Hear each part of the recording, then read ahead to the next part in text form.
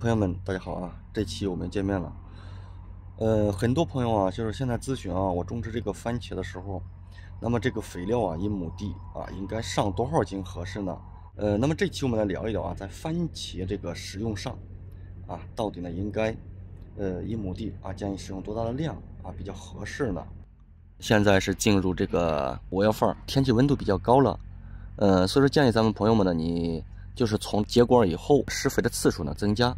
如果说你这个底肥啊使用的比较多，那么你前期呢你可以少量的使用啊，一亩地呢基本上就是五斤啊四斤，呃，那么到这个逐渐开始挂果膨果这个时间段以后呢，咱们施肥量呢就逐渐的增加了。你比如说像我们这个，我们现在配置的都是全元素的肥料，也就是说氮磷钾包括钙镁锌硼等等，就是全部混到一块儿了啊，加的螯合剂。我们现在基本上在使用的时候啊，一亩地五到六公斤吧。为了增加这个口感呢，我们会使用液体碳肥，一亩地呢我们会使用到六十公斤啊这样的一个量。